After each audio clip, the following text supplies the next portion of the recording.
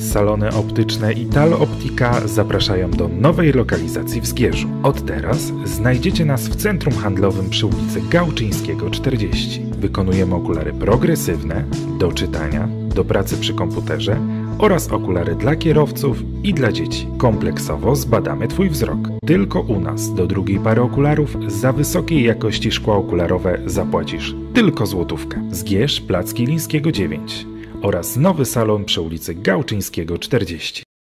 Aleczęści.pl to niezawodny i nowoczesny serwis samochodowy oraz najtańszy w internecie sklep z częściami. Autoserwis oferuje kompleksową obsługę pojazdów, w tym m.in. geometrię 3D, diagnostykę komputerową, obsługę klimatyzacji, wymianę rozrządów, elementów zawieszenia i układów hamulcowych. Internetowy sklep www.aleczęści.pl oferuje ponad 100 tysięcy części do wszystkich marek w jednym miejscu po niezwykle atrakcyjnych cenach.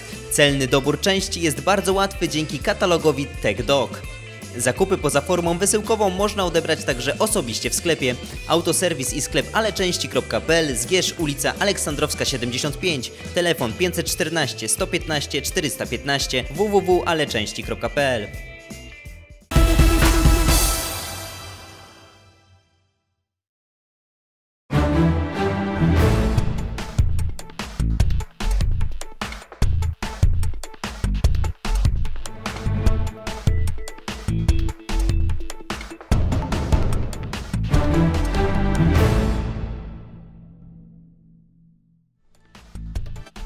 Jest piątek, 18 listopada. Cezary Adamski. Zaczynamy ostatni w tym tygodniu serwis informacyjny Telewizji Centrum.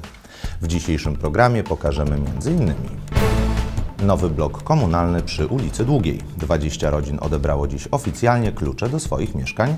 To jest coś wspaniałego. Czekaliśmy na to bardzo długo. No i w końcu się doczekaliśmy, tak? Bo bardzo długo wynajmowaliśmy. No jesteśmy małżeństwem 6 lat, mamy dwójkę dzieci.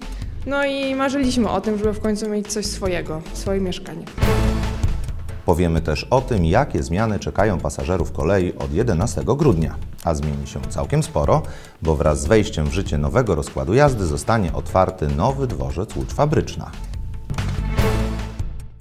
Nowy budynek wielorodzinny przy ulicy Długiej po ponad roku od rozpoczęcia budowy został oddany do użytku. Dziś w południe lokatorom wręczono klucze, w bloku zamieszka 20 rodzin. To już drugi po latach zastoju blok komunalny wybudowany przez miasto. Poprzedni, jeszcze za kadencji Iwony Wieczorek, powstał przy ulicy Emilii Plater na Nowym Mieście. Jak prezentuje się nowa kamienica z zewnątrz i od wewnątrz, sprawdzała z kamerą Emila Kupska. Blok komunalny przy ulicy Długiej miał być gotowy na przyjęcie nowych lokatorów już w lipcu tego roku. Jednak z powodu problemów z podłączeniami instalacji ciepła z miejskiego ciepłociągu termin przekazania kluczy mieszkańcom nieco się opóźnił. W końcu 20 rodzin otrzyma klucze i będzie mogło mieszkać w bloku, którego właścicielem jest Miejskie Przedsiębiorstwo Gospodarki Mieszkaniowej. Oczywiście jest to projekt realizowany z inspiracji prezydenta miasta Zgierza. Już drugi taki budynek spółka wybudowała, pierwszy przy ulicy Rębowskiego, ten przy ulicy Długiej. Myślę, że nie jest to ostatnie słowo spółki. Będziemy myśleć o kolejnym etapie tego programu, bo sprawdza się, są chętni, nie mieliśmy problemu z obsadą, że tak powiem, wszystkich, z wynajęciem wszystkich lokali. Więc jeżeli ta współpraca dalej z miastem, z właścicielem, czyli z panem prezydentem, z władzami miasta, Radą Miasta Zgierza będzie dalej się nakładała, to jest szansa na kolejny etap i kolejny budynek. Budynek powstał w ramach programu Moje M Krok po kroku. Znajdują się w nim mieszkania przeznaczone dla osób, które mieszkają w zasobach komunalnych i nie zalegają w opłatach za czynsz. Koszt budowy bloku pokryło Miejskie Przedsiębiorstwo Gospodarki Mieszkaniowej. Koszt inwestycji to 2,5 miliona. Są to środki spłat mieszkańców, bo część, część mieszkańców, 30% wartości lokalu wpłacali na poczet kupna. Natomiast pozostałe środki spółka zaciągnęła kredyt w, w banku kredytującym w Zgierzu. Był to bank spółdzielczy, za co serdecznie dziękujemy, że umożliwili re, realizację tej inwestycji. Lokatorzy będą spłacać kredyt w czynszu. Przy aplikowaniu o lokum niezbędne było również wykazanie swoich źródeł dochodów, które to są gwarancją systematycznego płacenia czynszu. To jednak każdy z nabywców musi także oddać swoje poprzednie mieszkanie komunalne. To jest coś wspaniałego. Czekaliśmy na to bardzo długo. No i w końcu się doczekaliśmy, tak, bo bardzo długo wynajmowaliśmy. No jesteśmy małżeństwem 6 lat, mamy dwójkę dzieci. No i marzyliśmy o tym, żeby w końcu mieć coś swojego, swoje mieszkanie. Jestem bardzo zadowolona. Warto było czekać za tym mieszkaniem. Y, Teren ładny, niby w centrum, ale cicho z każdej strony, tak? Fajna lokalizacja. Tak, przede wszystkim. No i mieszkanie też widać, że takie porządnie zrobione, tak? To już drugi taki blok w naszym mieście. Dwa lata temu do użytku oddano budynek przy ulicy Rębowskiego. Z kolei w przyszłym roku ma ruszyć przebudowa dawnego internatu szkolnego przy ulicy Chemików. Rozpoczęła się upragniona przez nas tutaj e, pracowników urzędu inwestycja e, na bloku komunalnym na chemików, gdzie e, w przyszłym roku te mieszkania zostaną przerobione. Tam będzie ich 48, z tym, że one już nie będą e, spółki, a, e, a miasta. Będziemy zasiedlać je na początku 2018 roku. Także coś w tej rzeczywistości mieszkaniowej w naszym mieście nareszcie zaczyna się ruszać. Mamy nadzieję e, na kolejne inwestycje. E, Prezydent jest przed kolejnymi rozmowami. Być może uda się nam jeszcze jakieś niespodzianki w tym zakresie dla mieszkańców e, w niedługim czasie ogłosić. W pierwszej kolejności takie lokum będą mogli otrzymać zgierzanie, którzy systematycznie płacą czynsz i są najemcami w dużej mierze już wyeksploatowanych kamienic, będących własnością miasta, a w powstałych przy ulicy Chemików lokalach mogliby mieszkać w lepszym standardzie. Z kolei w pozostawionych przez nich mieszkaniach zakwaterowane by były osoby przykład po nakazie eksmisji. Ponad 24 tysiące złotych to kwota przeznaczona na stypendia dla 42 najzdolniejszych zgierskich gimnazjalistów. Uczniowie otrzymali je nie tylko za dobre wyniki w nauce, ale również za pozytywną aktywność poza szkołą. Uroczystość wręczenia stypendiów odbyła się w środę w sali konferencyjnej miasta Tkaczy. Uczestniczył w niej także Mateusz Adamowicz. Jak co roku młodzi zgierzanie zostali nagrodzeni za swoje wysokie średnie. Kosztowało ich to wiele pracy. Kluczem do sukcesu, czyli otrzymania stypendium, nie był tylko wysiłek włożony w samą naukę. Dużą rolę odegrało również zaangażowanie w działalność na rzecz miasta czy też lokalnej społeczności. dobre wyniki ma bardzo wielu uczniów. Natomiast, natomiast ci są szczególni, bo oprócz y, bardzo dobrych ocen są zaangażowani w dużo działań, wiele działań, które y, dotyczą pracy samorządu uczniowskiego, y, dotyczą y, współpracy z samorządem, z y, lokalną społecznością. Na pewno jest dużo wyrzeczeń i dużo pracy, lecz e, można się do tego przyzwyczaić i no, jest to co prawda trudne, bo czasem e, jest dużo rzeczy do ogarnięcia, ale daje się radę. Byłem i jestem obecnie młodzieżowym radnym Rady Miasta Zgierza, e, a także udzielam się w różnych projektach e, i organizacjach. Tegorocznych stypendystów było aż 42, co niewątpliwie dobrze świadczy o wysokim poziomie nauczania w zgierskich szkołach. Spółką, która postanowiła docenić pracę uczniów była spółka Brentak Polska, przyznając jednorazowe stypendia w kwotach od 500 do 1300 zł. Młodzież może zakupić za te pieniądze podręczniki, wszelkie inne pomoce naukowe lub udać się chociażby na kursy językowe. Dzięki dobrej współpracy z lokalnym naszym przedsiębiorcą, e, który przybył do miasta jeszcze parę lat temu, e, rozwijaliśmy tą współpracę, zawarliśmy porozumienie z firmą Brentak, która zaoferowała tą swoją e, współpracę. Oni też mają taką formę dofinansowania dla poszerzenia tych najlepiej uzdolnionych. Możemy wykorzystywać tą szansę, nadają, na, jaka została nadana e, naszym najmłodszym mieszkańcom, tym, e, którzy jeszcze podejmują naukę. Taka liczba rozdanych stypendiów dodaje prestiżu zgierskim szkołom. Jest również nagrodą dla nauczycieli, którzy wkładają wiele starań w edukację swoich podopiecznych.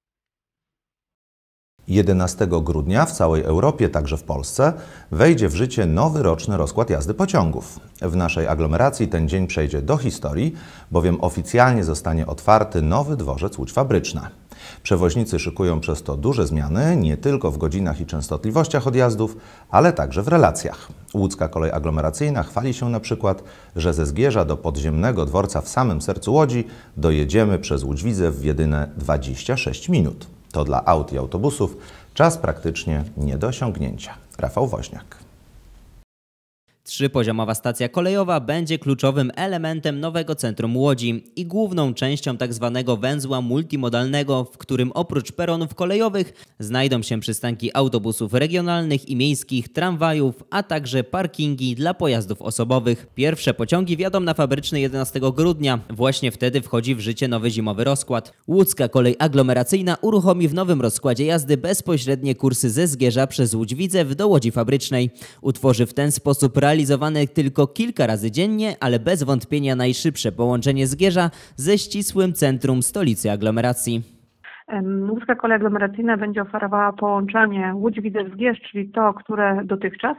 Natomiast 9 z 20 pociągów kursujących na tej trasie, e, ich trasa zostanie przedłużona do dworca Łódź Fabryczna. Cała trasa przejazdu ze Zgierza przez dworzec Łódź-Widzew, na którym e, ten pociąg e, obróci się, będzie konieczna zmiana kierunku jazdy. Całość przejazdu do dworca Łódź Fabryczna potrwa 26 minut, więc myślę, że jest to czas absolutnie konkurencyjny względem E, komunikacji miejskiej, tramwajów czy autobusów kursujących pomiędzy Łodzią a Zbierzem. Możliwość tak szybkiego czasu przejazdu LKA uzyskała dzięki znacznemu skróceniu czasu potrzebnego na zmianę kierunku jazdy, która będzie odbywać się na stacji Łódź-Widzew. Udało się skrócić e, czas potrzebny na e, zmianę kierunku jazdy na dworcu Łódź-Widzew. To jest procedura która trwa zgodnie z zarządzeniem PKP PLK, Zarządu Infrastruktury. Normalnie trwa to 10 minut, natomiast dzięki naszym staraniom czas ten został skrócony do 5 minut.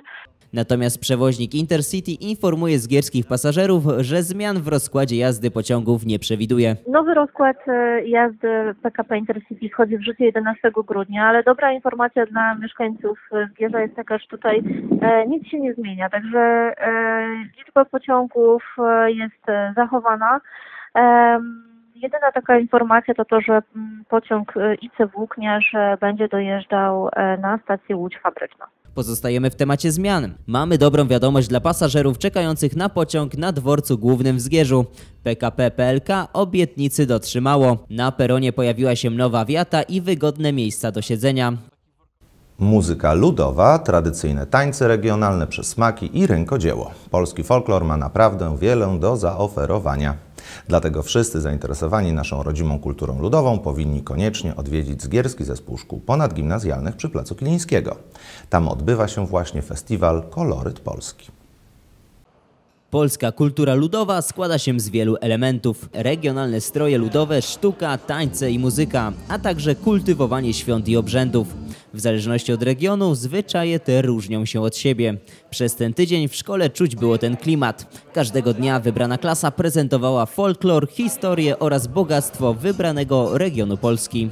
Składają się na to oczywiście, tak jak tutaj widzimy, najróżniejsze, najróżniejsze potrawy, które, e, z których słynie dany region, różne informacje, informacje o historii danego regionu, ale e, również o mm, e, historii tej ludowej czyli mm, o życiu, o życiu chłopów. Także było bardzo kolorowo, wesoło i smacznie. Nie byłoby tego wszystkiego bez zaangażowania uczniów i wychowawców. To oni razem z młodzieżą wyszukiwali informacji i opracowywali plan. Nie zapomnieć należy tu o rodzicach, bo bez ich pracy uczniowie nie mieliby czym częstować gości. E, mamy tu sklep ze smalcem. E, no barszcz. E, buraka. Jest pyszny. Dzisiaj zrobiliśmy sałatki. E, ziemia sieradzkę prezentujemy. No, mamy bardzo dobre sałatki, także zapraszamy. Razem e, przygotowywałyście w domu? Jak to wyglądało? Tak, razem. Jakoś tak niepewnie. Rodzice pomagali. Pasztet z gęsi, sałatka z, ze śledziem i chleb oczywiście. Moja mama robiła sałatkę, ja osobiście ją skonsumowałem i sprawdziłem, czy jest dobra. Smaczna na pewno była, podobnie jak większość potraw tego dnia. I nie ma co ukrywać, to nie ciekawostki o regionach, czy muzyka cieszyły się największym zainteresowaniem, ale właśnie regionalna kuchnia. Przez kilkanaście minut na stole nie została nawet kromka chleba ze swojskim smalcem. Oj, bardzo mi smakuje. Bardzo fajne są te tradycje. Super, po prostu niesamowicie. Bardzo fajna impreza. Uznałyśmy e, z koleżanką, że należałoby no jednak zapoznać młodzież z tą polską kulturą, folklorem i historią regionalną. bo ona jest naprawdę nieznana. W tym roku no, postawiliśmy na, jednak na tą Polskę, na regiony. No i widzę, że naprawdę e, uczniowie podchwycili chyba tego bakcyla, bo są i potrawy, i piękne dekoracje.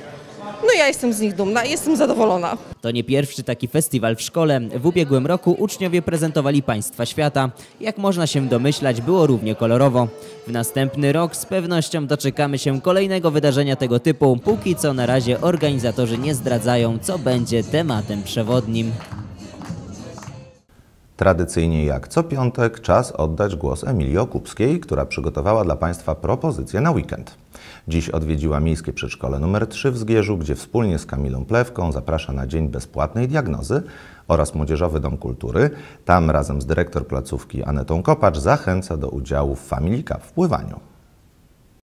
Już od 8 lat w Miejskim Przedszkolu nr 3 jest organizowany Dzień Bezpłatnej Diagnozy. Również w tym roku dyrekcja, wychowawcy, a także pedagodzy zapraszają na bezpłatne badania. O szczegółach opowie nam pani Kamila Plewka. Bardzo serdecznie zapraszamy Państwa 26 listopada. To jest sobota w godzinach od 9 do 13.40 w Miejskim Przedszkolu nr 3 w Zgierzu przy ulicy Mielczarskiego 26 organizujemy bezpłatne konsultacje ze specjalistami, z logopedą, z psychologiem, z pedagogiem, z rehabilitantem ruchu. Jeżeli niepokoi Państwa rozwój dziecka, coś nie współdziała, coś nie współgra w rozwoju dziecka, czy źle, gorzej na przykład chodzi, gorzej porusza się, czy ma jakieś problemy manualne z rączkami, czy stricto problem, problemy związane z rozwojem, z zachowaniem dziecka, czy z rozwojem mowy, serdecznie zapraszamy. Porozmawiamy, dokonamy diagnozy, opowiemy również, jakie są sposoby pracy, jakie są możliwości do dalszego rozwoju dziecka, jak można pomóc i gdzie szukać tej pomocy, jakiekolwiek poradnie, fundacje, organizacje, my wszystko przekazujemy te informacje. A zapisywać się można do 24 listopada. Tak, tak, do 24 listopada, do czwartku, do godziny 14 są zapisy. Jeżeli jeszcze Państwo nie zdecydowali, zapraszamy, ponieważ już zapełnia nam się grafik. E, e, Jeszcze zostało kilka wolnych miejsc, więc serdecznie zapraszamy. Nie lada gratka czeka na miłośników pływania i do tego rodzinnego. Przed nami kolejna edycja Family Cup. O szczegółach opowie nam dyrektor Młodzieżowego Domu Kultury Aneta Kopacz. E, Dzień dobry, witam serdecznie. E, W tą sobotę e, od, od godziny 9 będą jeszcze zapisy chętnych, którzy chcieliby wziąć udział w zawodach. Przypominam, że odbywają się po raz kolejny, teraz już 10 amatorskie mistrzostwa województwa łódzkiego w pływaniu. Są to takie zawody przeznaczone dla, dla maluszków już od trzeciego roku życia, dla dorosłych od y, do granica górna nie istnieje, powiedzmy lat 100 i 3. E, Są różne kategorie e, pływania. E, Może wspomnę, żeby rodzice takich najmniejszych się nie martwili, że te maluchy muszą umieć pływać. Te najmniejsze, najmniejsze nasze pociechy trzyletnie mogą w kółeczkach. E, Wszyscy uczestnicy otrzymują nagrody. Jest to bardzo fajna zabawa, jest to możliwość sprawdzenia swoich umiejętności w pływaniu, e, rywalizacji, no jak również spędzenie takiego fajnego czasu wśród y, ludzi, którzy mają tą samą pasję. E, Są to kolejne takie e, mistrzostwa, też rodzinne, ponieważ mamy również kategorię rodzinną. No i serdecznie wszystkich za- zapraszam. Zapisywać się można poprzez stronę internetową Młodzieżowego Domu Kultury w Zgierzu, u nas w sekretariacie w Młodzieżowym Domu Kultury w Zgierzu, ale tak jak wcześniej wspominałam, również na basenie e, przy ulicy Leśmiana 1, to jest basen Mosiru. Od godziny 9 do 10 jeszcze można e, się zapisywać.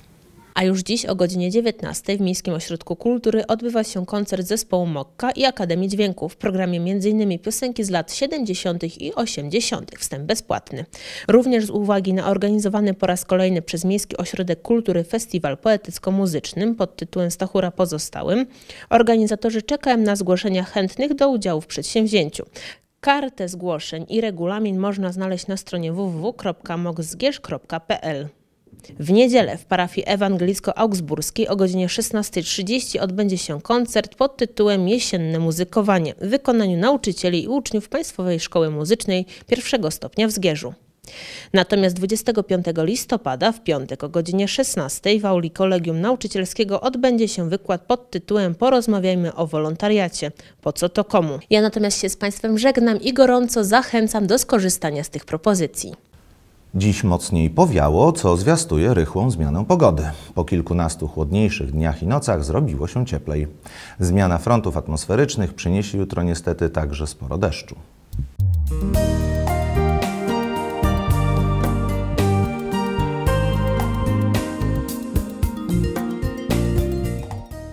Sobota, choć stosunkowo ciepła, z temperaturą do 9 stopni Celsjusza, będzie typowo listopadowa. Przez duże zachmurzenie słońce raczej się nie przebije, będzie za to dużo padać. Rozpogodzenie ma według synoptyków przyjść w niedzielę. Nie powinno już padać, uspokoi się też wiatr. Słupki rtęci pokażą 8-9 kresek powyżej zera. Odczuwalnie cieplej zrobi się natomiast w poniedziałek. Temperatura maksymalna w ciągu dnia wyniesie nawet 13 stopni. Będzie też sporo słońca. Noce także nie najchłodniejsze z temperaturą powyżej 5 stopni. Biometr do jutra jeszcze niekorzystny, od niedzieli pogoda będzie na nasze samopoczucie wpływać już raczej dobrze.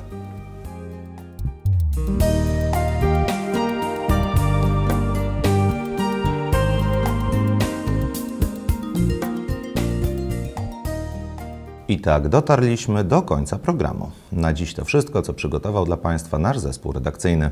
Na kolejną porcję informacji lokalnych zapraszam w imieniu Emilii Okupskiej w poniedziałek o stałej porze. A ja dziękuję za uwagę, życzę Państwu miłego wieczoru i przyjemnego weekendu. Pozdrawiam.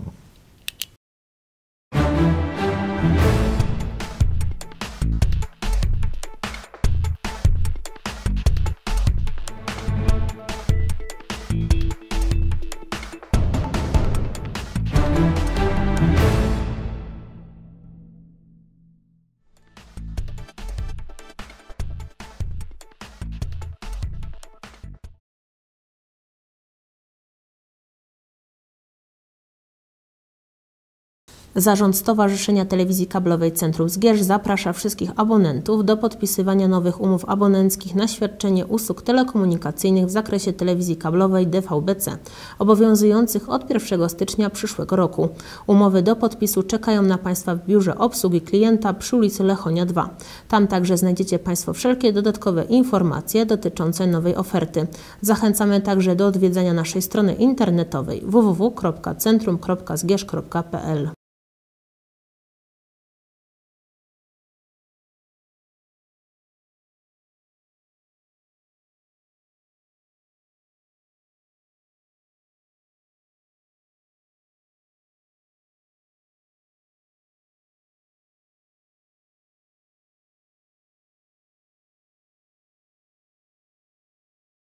Do wynajęcia jest lokal biurowy na pierwszym piętrze w siedzibie Stowarzyszenia Telewizji Kablowej Centrum Zgierz przy ulicy Lechonia 2.